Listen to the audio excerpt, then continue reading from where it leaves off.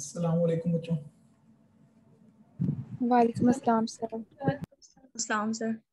अच्छा बच्चों पहली बात तो ये कि क्विज तुम लोग का दोबारा होगा सबका और एलएमएस पे होगा और उसके अंदर क्या नाम है आपके पास नेविगेशन की ऑप्शन नहीं होगी मतलब एक अगर आपने एम सी आगे कर दिया तो वो बैक नहीं होगा ठीक है? अगर आपने बगैर अटेम्प्ट किया आगे कर दिया तो वो मार्क्स कट जाएँगे ठीक है? सबका होगा दोबारा होगा ट्वेंटी मार्क्स का होगा। अब कोई इशू आया तो बच्चा खुद जिम्मेदार होगा। ओके ठीक है? सर आप एनजीओ की बात कर रहे हैं? जी। ओके और कब होगा? Sunday Sunday evening okay sir ठीक है? किसी बच्चे को इशू नो सर ठीक है। जिन बच्चों का लास्ट टाइम इशू था, इस दफ़ा अगर उनका कोई इशू हुआ तो कोई उनके साथ क्या नाम लीनियंसी नहीं होगी, कोई टॉलरेशन नहीं होगी, ठीक है? जो भी होगा, फिर उनके अपने एंड पे होगा। जिसका कोई नेट का इशू था, जिसका जो भी इशू था मेक इट ओके ठीक है?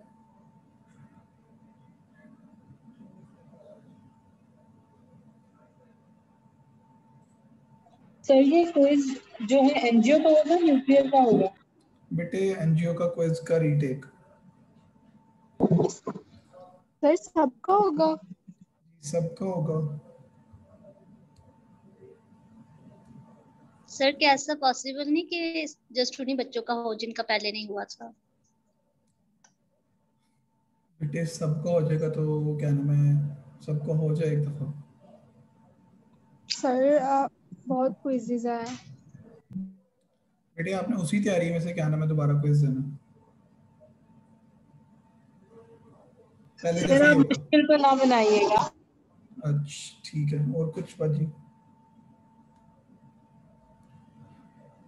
सर उसकी वेटेज फिर उतनी रहेगी जितनी पहले थी उसकी जी और ये फ़र्स्ट एंड लास्ट टाइम है। ठीक है? आइंदा अगर कोई इशू हुआ तब मैंने टॉलरेट नहीं करना। ठीक है, अपने नेट के कनेक्शंस को ठीक रखो। और हाँ अगर किसी ने कहा, सर, मैंने सबमिट कराया था 11:45 अगर कुछ भी टाइम है ना, उससे एक मिनट पहले पहले सबमिट करो। अगर किसी ने मुझे बोला ना, सर, मैंने एंड टाइम पे सबमिट कराया, ये हुआ, वो हुआ। ठीक है, जैसे निमरा, आपका इशू हुआ था कि आपने पहले सबमिट किया, दोबारा आ गया, ठीक है क्लियर होके ठीक है तो उस चीज़ का भी कोई प्रूफ होना चाहिए। किया जाता है सर इनसे आगे बिट भी है क्विज भी है सर चार बच्चों के लिए हम दोबारा थे बेटे आपकी बात की समझ नहीं आई। मैंने बोला सर क्विज मतलब चार बच्चों के लिए अब हम सुबह दोबारा क्विज देंगे सर. सर उन्हीं बच्चों का ले लें प्लीज़ यस सर आगे मिड है सर इतना आगे उन्हीं बढ़ का जाना ले फिर लेता से- हूँ। चाहे हमने प्रिपेयर किया हो फिर भी दोबारा प्रिपेयर करना पड़ता है सर सर प्लीज़ नो ये सबका नो वाला कौन था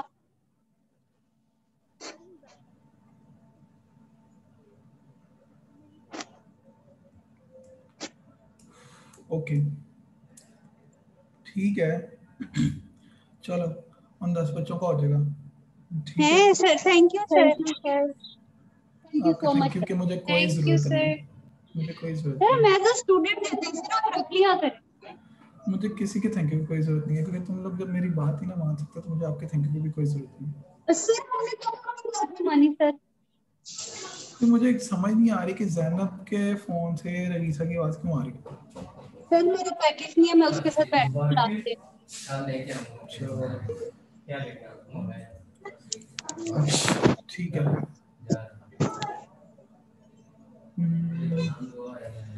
अच्छा चलो भाई आज का लेक्चर स्टार्ट करते हैं छोटा सा लेक्चर है इसको जल्दी सर एक क्वेश्चन का आंसर दे देंगे जो क्विज में था? क्यों? वजह? सर कब से कंफ्यूजन हो रही थी ना? कोई शायद बात गलत नहीं। कर कोई बात नहीं आप कंफ्यूज ही रहें। जब मार्क्स लगेंगे उस टाइम पे हम डिस्कस करेंगे इसको। ओके ठीक है? ठीक है।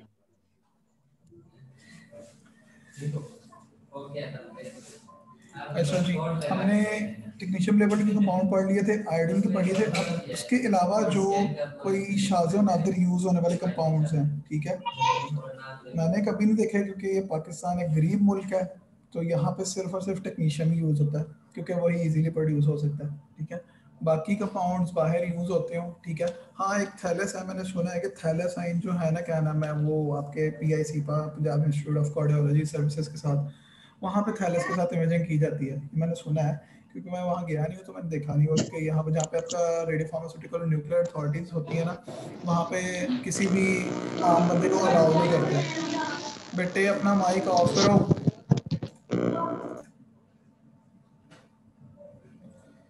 ठीक है, वो कहते हैं जी गैलियम 67 से trade this radiopharmaceutical is used in the detection of soft tissue tumours and inflammatory diseases जो आपका गैलियम लेबल्ड से ट्रेड होता है ना वो वो किस की स्टडी के लिए यूज़ होता है? सॉफ्ट टिश्यू के ट्यूमर्स के लिए और इन्फ्लेमेटरी डिज़ीज़ के लिए। वो कहता है after intravenous administration a significant fraction of gallium as in blood almost thirty percent is bound to the plasma proteins particular transferrin जब आप इंजेक्ट कर देते हैं ट्रांसफेरन को बॉडी के अंदर तो उसका थर्टी परसेंट यानी कि अगर आपने टेन एम इंजेक्ट किया तो थ्री परसेंट जो है आपकी जो डोजेज है प्लाज्मा प्रोटीन स्पेसिफिकली ट्रांसफेरन के साथ बाइंड कर जाती है। उसके बाद वो कहता है कि the remainder of the gallium quickly diffuses into extracellular spaces and slowly cleared by the kidneys जो बाकी बचा हुआ 70% गैलियम है, वो कहाँ जाता है? एक्स्ट्रासेलुलर स्पेसेस के अंदर और स्लोली किडनी से वॉश आउट हो जाता है। By 24 hours, about 15% of dosage is excreted in urine and 10% is circulating in the blood. ठीक है? 24 घंटे जब गुजर जाते हैं तो जो 15 परसेंट है, वो यूरिन के थ्रू एक्सक्रीट हो जाता है और जो 10 परसेंट रह जाता है, वो आपके ब्लड में सर्कुलेट करता रहता है। The reminder of the radioactivity is distributed in kidneys bone liver and lymph nodes ठीक है? ये क्या कहते हैं, जो बाकी रेडियोएक्टिविटी बच जाती है वो आपके डिफरेंट ऑर्गन्स में स्प्रेड हो जाती है। बायोलॉजिकल हाफ़ लाइफ जो है गैलियम की is one to two weeks ठीक है? जो कि बहुत ज़्यादा है, ठीक है? इसका मतलब ये है कि अगर आप गैलियम का रेडियो फार्मास्यूटिकल यूज़ करोगे, ठीक है? जो गैलियम लेबल्ड होगा तो आपके जो पेशेंट है, वो वन से टू वीक्स तक एक रेडियो एक्टिविटी का सोर्स बना रहेगा। चाहे वो क्या नाम है उसकी अमाउंट कम होती जाएगी आहिस्ता ऐसा बट रेडियो एक्टिविटी एमिट करता रहेगा पेशेंट आपका।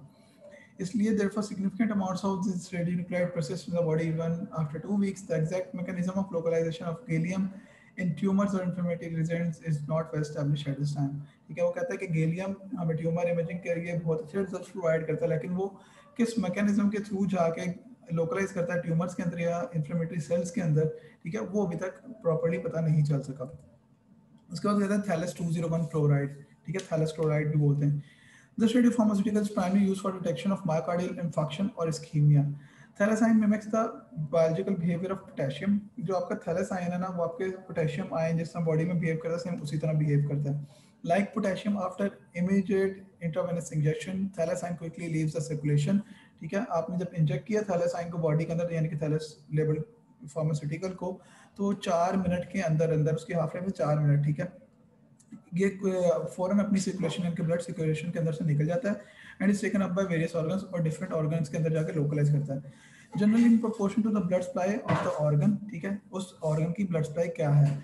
The brain is one exception where there is no almost accommodation ठीक है? जो आपका थैलासाइन है, आपके ब्लड ब्रेन बैरियर को क्रॉस नहीं कर सकता, जिसकी वजह से आपको ब्रेन के अंदर, क्या नाम है, कोई भी अपटेक नहीं मिलता थैलासाइन का। उसके बाद कहते हैं एट अबाउट 15 टू 20 मिनट्स 15 से 20 मिनट के बाद 4% of the injected doses is localized in myocardium 12% in liver 4% in kidneys and the bulk of remainder is distributed in muscles throughout the body. ठीक है biological half of थैलासाइन in humans is about 10 days ठीक है थैलासाइन की human के अंदर ten days है। आपके gallium की भी ज़्यादा थी, ठीक है सेवन टू 14 डेज़ और आपके थैलासाइन की भी ज़्यादा है। तो इसलिए रेडियो जब भी यूज़ होते हैं तो पेशेंट आपका काफ़ी दिनों तक रेडियो एक्टिव सोर्स बना रहता है Its use for myocardial imaging is based on the fact that its cellular uptake is dependent on the blood flow to that region and the integrity of the cell themselves.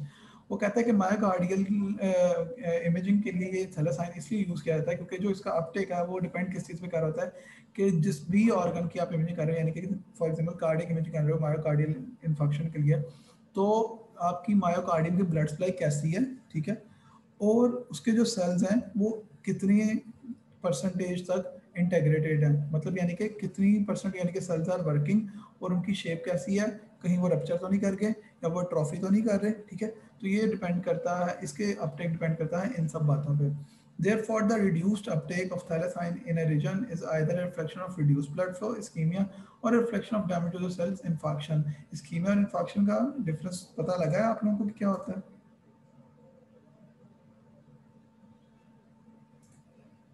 हाँ जी माहीन ये सिर्फ़ समझ आ गई।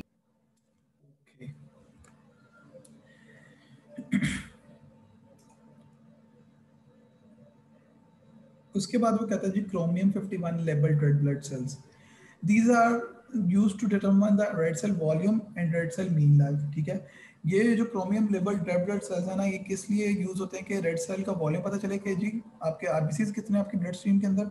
और रेड सेल की mean life कितनी, कितने दिनों में आए जो इस कोई भी पेशेंट है, उसके रेड सेल्स कितने दिन बाद डेथ हो रही है, उनकी और कितने दिन बाद वो रीजनरेट हो रहे हैं। Because labeling of red blood cells has to be performed in house for each patient, this is a complex procedure, ठीक है? क्योंकि रेड ब्लड सेल्स पेशेंट के ही निकाल के आपने वापस इंजेक्ट करने हैं तो ज़ाहिर सी बात है आपको उसी टाइम पे क्या नाम है, उसकी प्रिपरेशन करनी पड़ेगी। First the blood is withdrawn उसकी प्रिपरेशन बता रहा है। First the blood is withdrawn from the patient it is then incubated with acid dextrose and sodium chromate 51 solution at 37 to 39 celsius for 10 minutes सबसे पहले blood निकाला जाता है उसको रखा जाता है इंक्यूबेट किया जाता है एसिड डेक्सट्रोज के साथ ठीक है उसके बाद सोडियम क्रोमेट का जो सोल्यूशन है ठीक है उसके अंदर उसको डाला जाता है और उसको 10 मिनट के लिए रखा जाता है 37 टू 39 सेल्सियस के टेम्परेचर पे Chromate ion readily penetrates the red cell's membrane. Inside a cell, it is reduced to chromium 3 plus, which has a high affinity for hemoglobin. Small amounts of chromate ion that do not enter the red blood cells are then reduced to CR3 outside the cells by addition of appropriate amount of ascorbic acid. ठीक है कहता है जो chromate के ions हैं जो कि red blood sales के अंदर चले जाते हैं वो सेल्स के अंदर ऑटोमेटिकली रिड्यूस हो जाते हैं C chromate three plus ion में ठीक है जो कि बहुत हाई एफिनिटी रखता है हीमोग्लोबिन से बाइंड करने की ठीक है और जो नहीं जा सकते रेड ब्लड सेल्स के अंदर ठीक है वो सेल्स के बाहर ही उनको कन्वर्ट करवाया जाता है सीआर थ्री प्लस आयन में एस्कॉर्बिक एसिड की अप्रोप्रिएट अमाउंट अंदर इंजेक्ट करके। Only the label डेडबर्ड cells remain their circulation small amounts of chromium 50 51 ion not bound to the cells are quickly excreted urine by the kidney जो cells नहीं bound होते, ठीक है, वो आपके यूरिन के थ्रू एक्सक्रीट कर दिए जाते हैं। उसके बाद कहते हैं indium triple one label D T P है This radiopharmaceutical is presently the agent of choice for imaging cerebrospinal fluid dynamics. ठीक है? आपका cerebrospinal fluid जो है वो proper क्या नाम है, बन रहा है प्रॉपर क्या नाम है डिस्ट्रीब्यूट हो रहा है आपके बेजल सिस्टम्स में और क्या नाम है ब्रेन के बाकी पार्ट्स में, ठीक है? उसको चेक करने के लिए आप इंडियम लेबल डीटीबीए यूज़ करते हो। When it is injected intrathecally can anyone tell me intrathecally का क्या मतलब होता है?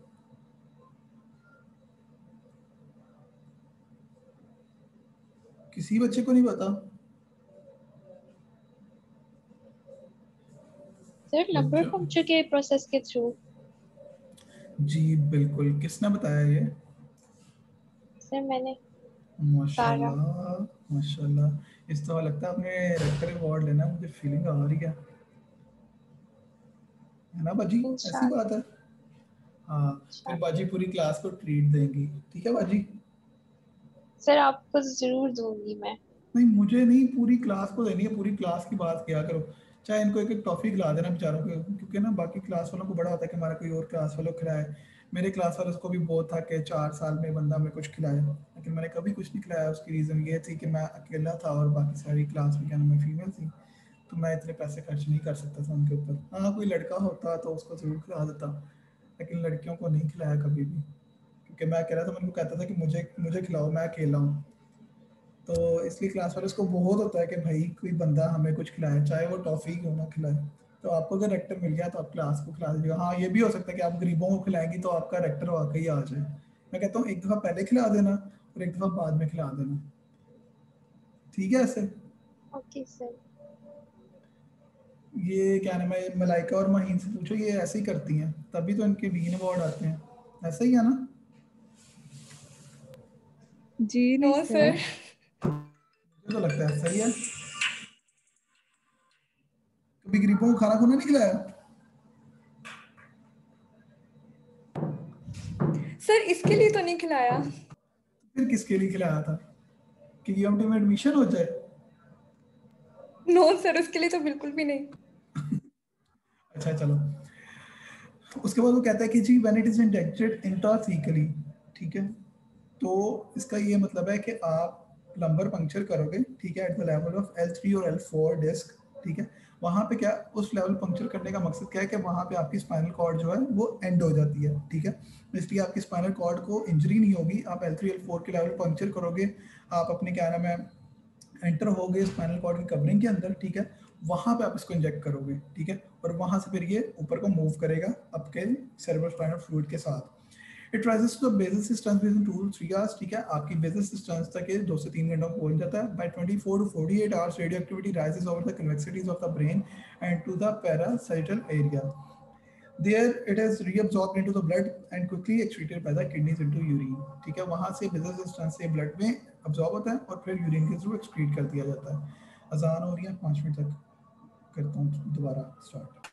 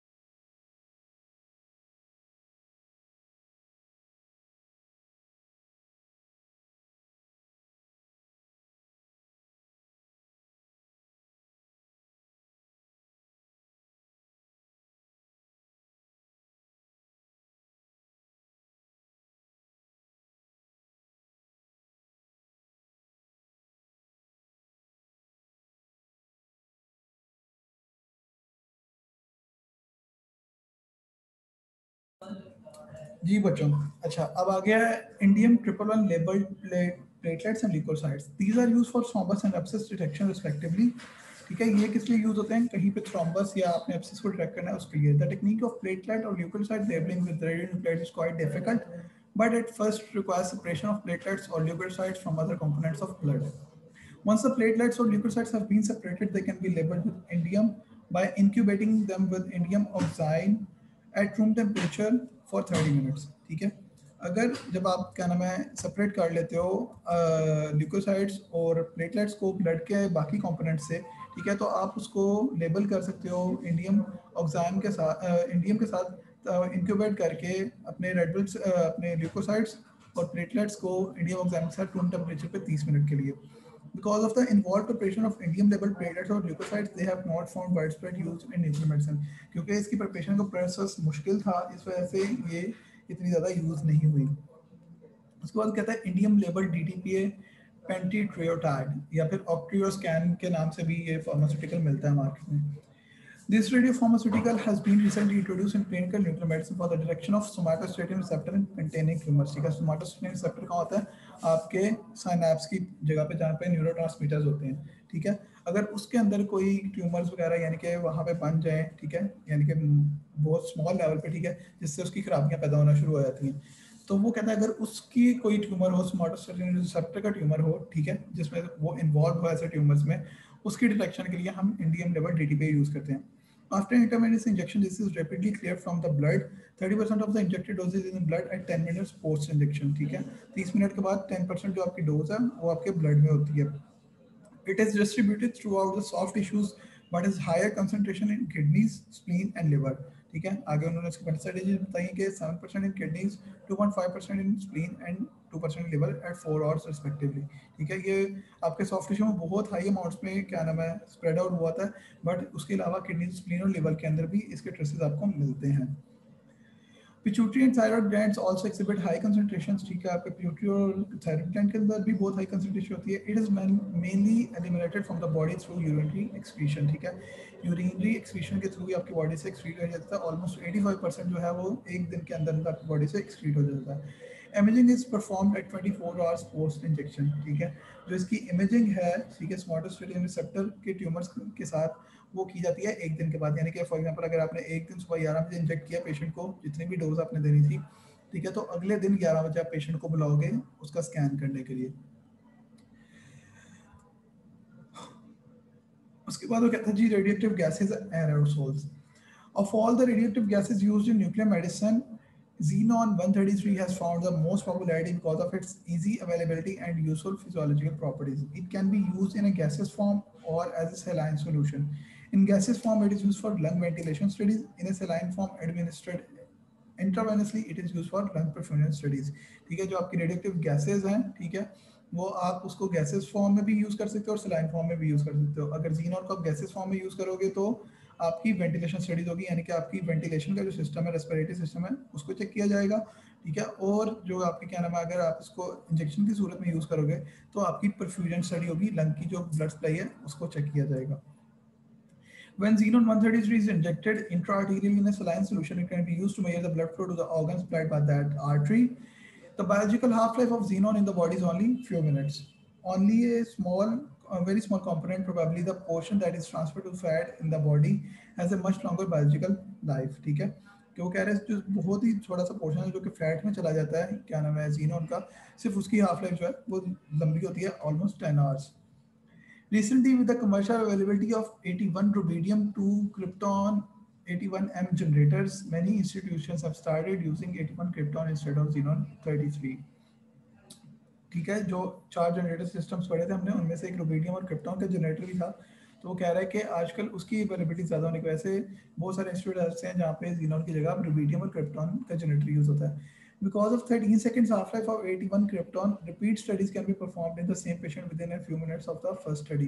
ठीक है क्योंकि उसकी हाफ़ लाइफ जो है 81 क्रिप्टॉन की वो 13 सेकंड है तो इसीलिए एक ही पेशेंट के अंदर आप रिपीट स्टडी परफॉर्म कर सकते हैं Also, use of technetium 99m DTP aerosol for such purpose is now well established. ठीक है 81 क्रिप्टॉन की जगह पे भी आप टेक्नीशियम लेवल DTP भी यूज़ कर सकते हो गैसियस फॉर्म में not in liquid form liquid form में यूज़ करोगे तो वो किडनीज पे जाके एक्ट करेगा ठीक है गैसियस फॉर्म में आप यूज़ कर सकते हो for ventilation studies of lungs Commercially available nebulizers produce technetium 99 labeled aerosols with particle sizes ranging from 1 to 3 micrometer for lung ventilation studies. About 90% of the aerosol remains airborne and the remainder is removed from the lungs rapidly. ठीक है उसके बाद वो कहता है, जी radio pharmaceuticals for PET imaging PET क्या होता है? पोजिट्रॉन एमिशन टोमोग्राफी जो हम रेडियो फार्मास्यूटिकल टेक्नीशियम या फिर गेलियम या फिर इंडियम या आयोडीन ठीक है, इनके साथ लेबल्ड कंपाउंड जो हम यूज़ करते हैं ना, उसके अंदर हम करते हैं single photon emission photograph computer tomography ठीक है? उसको हम बोलते हैं स्पेक्ट ठीक है? उसका कैमरा अलग से होता है, ठीक है? जब हम पोजिट्रॉन एमिशन टोमोग्राफी करते हैं ना, ठीक है तो उसका कैमरा अलग से होता है, जो कि पोजिट्रॉन को डिटेक्ट करता है। अब इन दोनों में फ़र्क है क्यों करते हैं? जो so, आपका स्पेक्ट इमेजिंग है ना वो आपकी किसी भी एनाटमी की अनोमली ठीक है या कोई फंक्शनल अनोमली ठीक है उसको बहुत अच्छा डिटेक्ट करके बताता है। ट्यूमर के लिए उसकी सेंसिटिविटी इतनी हाई नहीं है ठीक है तो जब आपको कोई ट्यूमर का सस्पिशन होता है ना ठीक है तो आप स्पेक्ट की जगह पे पेट स्कैन को प्रेफर करते हो ठीक है पोजिट्रॉन एमिशन को ठीक है। इसके बैक एंड पे क्या साइंस है, ठीक है? उसका नहीं पता हमें। लेकिन जब आपकी ट्यूमर की आपको सस्पिशन होना तो 90 percent of the radiologist refer that you should go for a PET scan और पेट सीटी ठीक है? पेट सीटी के अंदर ये होता है कि सीटी की रिकंस्ट्रक्शन मिल जाती है आपको अच्छी, ठीक है? और साथ पोस्टॉन एमिशन से जो, क्या नाम है, एक बहुत ज़बरदस्त किस्म का क्रिएट हुआ होता है इमेज वो दोनों मिक्सअप होकर आपको एक बहुत औसम डायग्नोसिस प्रोवाइड करते हैं, ठीक है? अब वो बता रहे हैं radio pharmaceutical for PET imaging positron emitting radionuclides even though they emit particulate radiation and the gamma energy is high are attractive for physiological reasons and may be the only radionuclides available to measure a particular physiological parameter. The ideal radionuclide for positron imaging is the one which does not emit gamma rays, emits positrons only with least amount of energy and is hopefully produced by a generator. ठीक है वो कह रहा है ideal रेडियोन्यूक्लिड PAT imaging के लिए कौन सा जो कि gamma ray प्रोड्यूस ना करे सिर्फ पॉजिट्रॉन्स को प्रोड्यूस करे और उसकी एनर्जी भी बहुत कम हो और क्या नाम है वो जनरेटर से प्रोड्यूस होता है।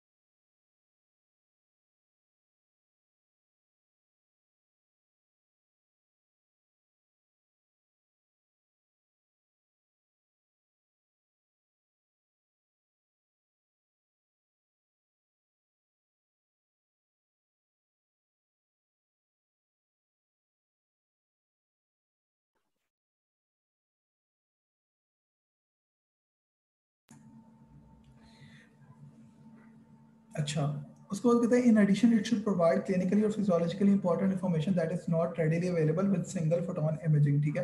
वो कहता है, वो इतना अच्छा होना चाहिए कि वो आपको, क्या नाम है क्लिनिकल इन्फॉर्मेशन के साथ यानी कि ट्यूमर वगैरह के साथ साथ फिजियोलॉजिकल इन्फॉर्मेशन यानी कि फ़ंक्शन कैसे चल रहा है उस ऑर्गन का, उसको भी डिस्क्राइब करे।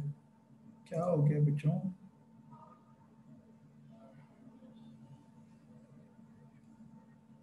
अच्छा भाजी ठीक है।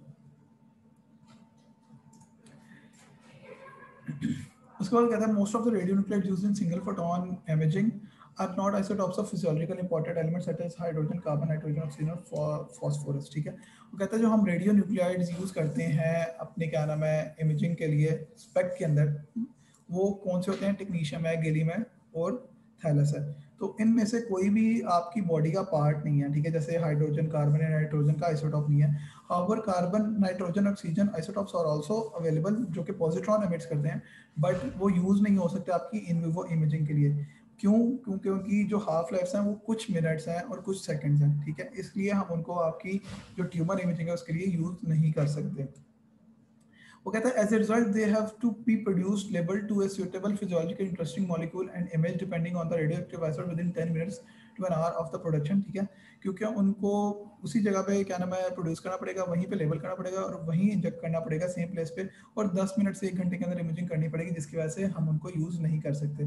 That's puts a tremendous hurdles in their routine clinical use even when the cyclotron is at the side of uses Therefore, the, their use so far has been limited to clinical research where they are providing a wealth of useful information. इसलिए उनको सिर्फ़ clinical research के purpose के लिए use किया जाता है ठीक है जहाँ पे वो हमें बहुत ज़्यादा information provide कर रहे हैं However, another positron emitting radionuclide fluorine 18 in the form of a radiopharmaceutical fluorodeoxyglucose 18 FDG बोलते हैं ठीक है वो प्रोड्यूस करवाया गया है, ठीक है, जिसकी हाफ़ लाइफ है 110 मिनट्स ठीक है despite its not being an isotope of physiological importance element ठीक है, बेशक हमारी बॉडी का पार्ट ही है, ठीक है फाइंडिंग बट फिर भी ये बहुत ज़्यादा मशहूर हो रहा है, ठीक है, और इसकी क्लिनिकल इंपॉर्टेंस बहुत ज़्यादा है। This is in part of the fact that it is not produce by generator और एक और बात भी है कि ना तो जनरेटर से प्रोड्यूस हुआ हुआ है, ठीक है, इसको हम साइक्लोट्रॉन के थ्रू ही प्रोड्यूस करते हैं फ्लोरिन 18 को।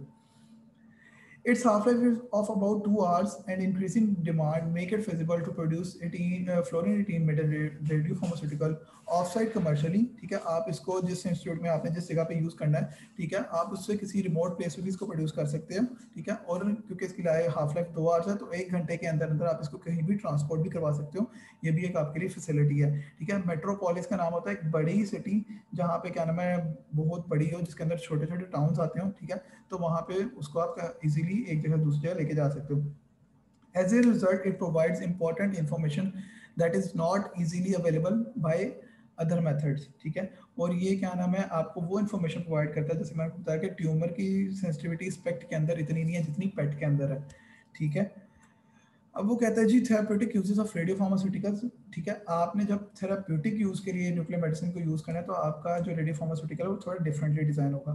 The physiological and biochemical consideration in designing radio pharmaceutical for therapeutic purpose are similar to those that apply in designing radio pharmaceutical for diagnostic uses the primary objective in both cases is a high target to non target ratio जैसे कि मैंने आपको बताया था कि आपके disease tissue और normal tissue के अंदर जो अपटेक है, उन दोनों में बहुत ज़्यादा डिफरेंस होना चाहिए। फॉर थेरेपेटिक डिज़ीज़ टारगेट ठीक है? वहाँ पे टारगेट क्या था? आपका नॉर्मल टिश्यू ठीक है? और यहाँ पे टारगेट क्या है? Abnormal tissue Because objective of therapeutic use of radiopharmaceutical is to kill a disease cell with radiation, the physical requirements for a radionuclide are the opposite of those desired for diagnostic purpose. कहता है क्योंकि आपने therapeutic के अंदर ऐसे करना होता है कि रेडिएशन के थ्रू आपने डिज़ीज़ सेल को किल करना होता है तो जो आपकी रेडियो फार्मास्यूटिकल्स के रेडियोन्यूक्लाइड की रिक्वायरमेंट्स है ना ठीक है वो डायग्नोस्टिक से बिल्कुल ऑपोजिट होती हैं क्या होती हैं The radionuclide should emit only particulate radiation that is alpha or beta ray and preferably be no penetrating radiation और वो gamma ray emit ना करे जबकि diagnostic के अंदर हम क्या यूज़ करते हैं कि सिर्फ़ और सिर्फ़ gamma ray emit करे और अल्फ़ा या बीटा पार्टिकुलर रेडिएशन एमिट ना करे यहाँ तक था हमारा आज का लेक्चर किसी का कोई क्वेश्चन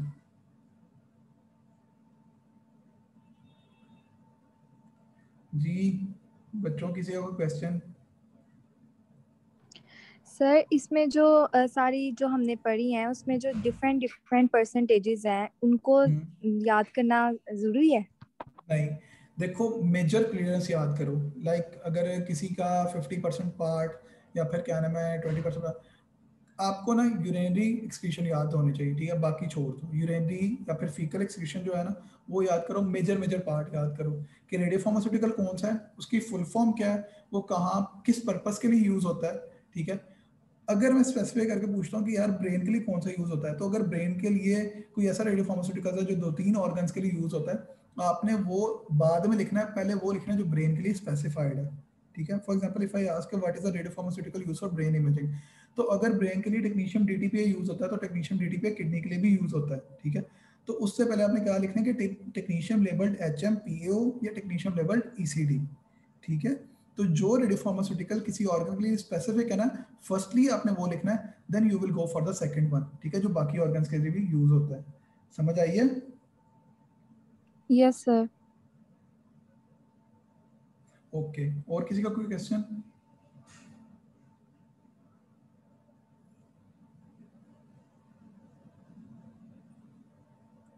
किसी बच्चे का कोई क्वेश्चन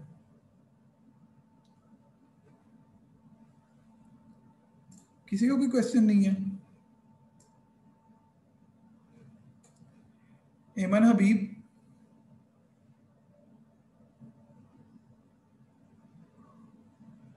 एमन हबीब।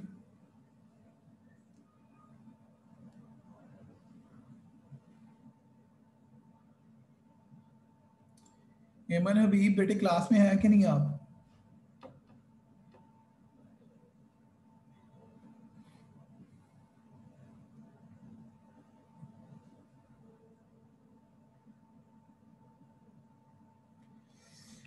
किसी बच्चे का कोई क्वेश्चन कोई क्वेश्चन नहीं है?